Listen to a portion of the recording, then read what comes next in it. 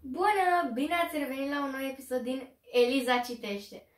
Um, la mulți ani și uh, sper că ați avut un Crăciun fericit împreună cu familia. După cum vedeți, aici am uh, cărțile pe care le-am citit în vacanța de iarnă. Um, cam slăbuți, dar e totuși ok. Să începem cu prima. Povești ilustrate din China, editura Univers Encicloped Junior.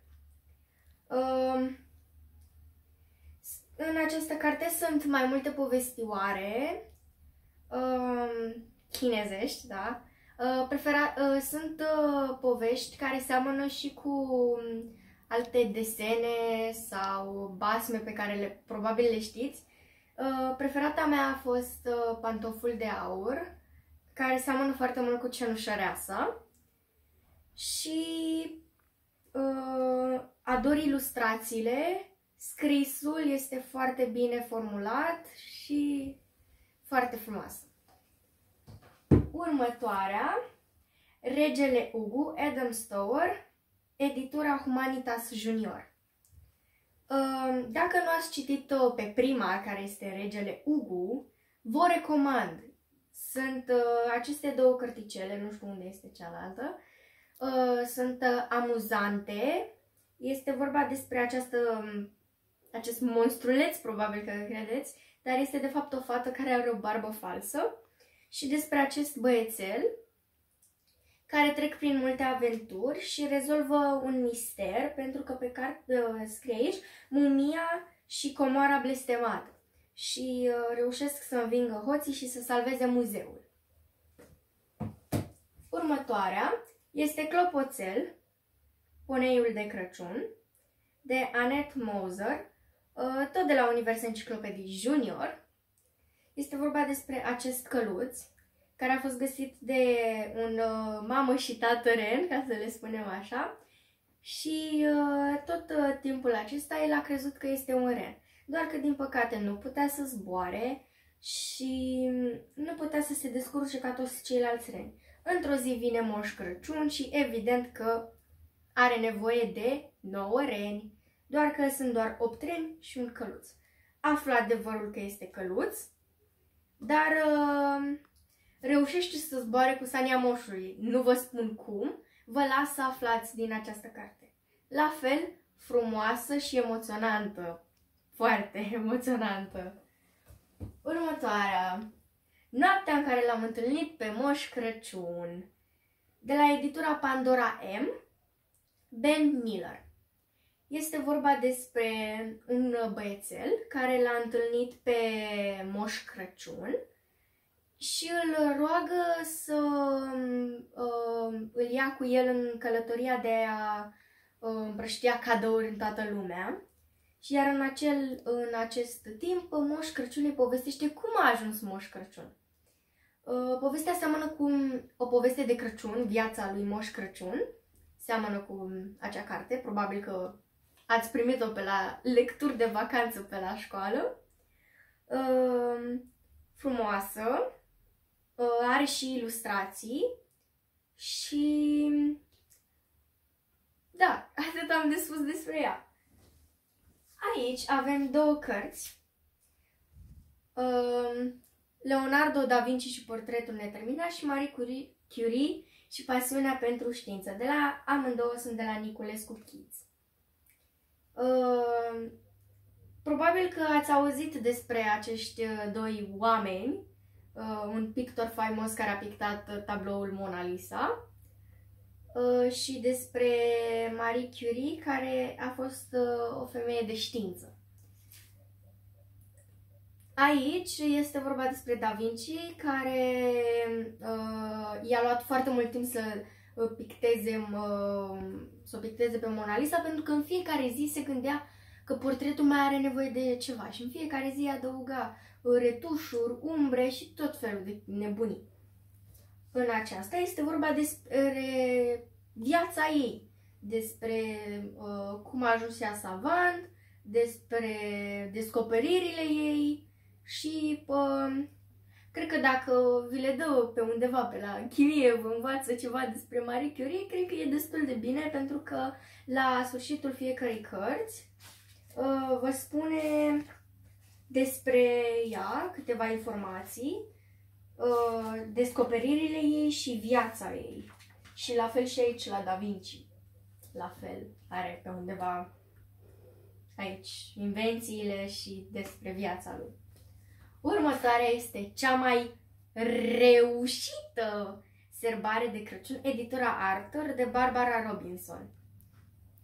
Uh, după cum observați aici este tăiat neul de la nereușită.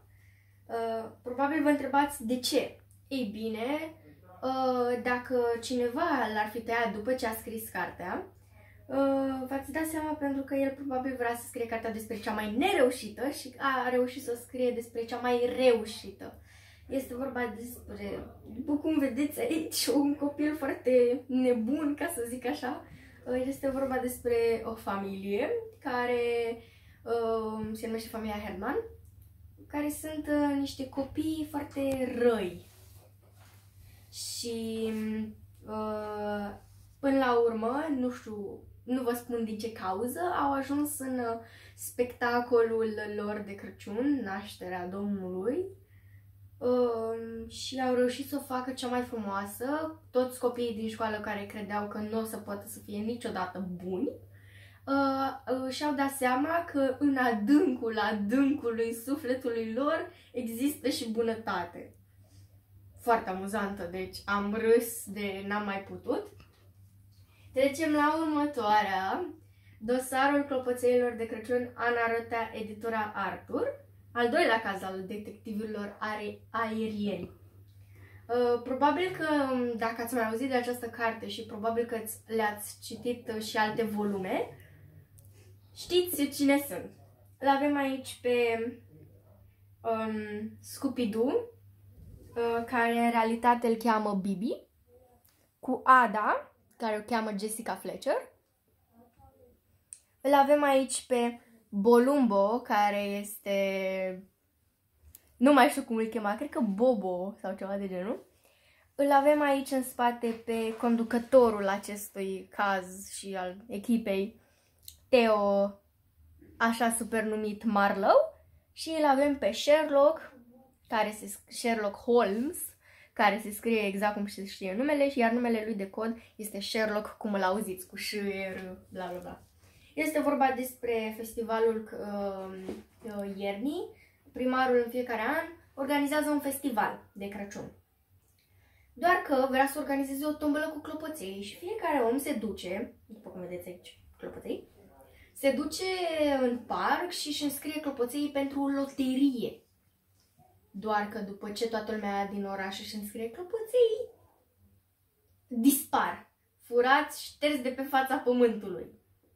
Uh, amuzantă și mm, interesantă.